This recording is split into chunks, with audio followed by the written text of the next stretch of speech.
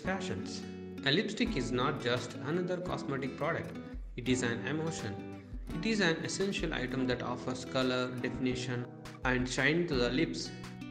To respond to the ever increasing demand for lipsticks, different companies are coming up with bewildering options leaving no hue, undertone, or finish untouched.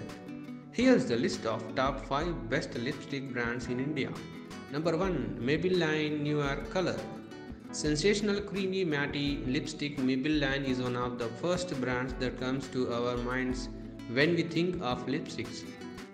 It is an American cosmetics and skincare brand that has revolutionized the makeup industry with its unique and superb quality products. Number 2 L'Oreal Paris L'Oreal Paris is a French cosmetics, skincare, and fragrances company that has an outstanding clientele across the globe.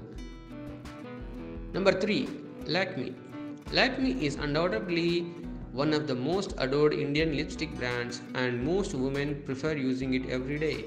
The brand was launched in 1952 by J.R.D. Tata and Simone Tata and is headquartered in Mumbai, India.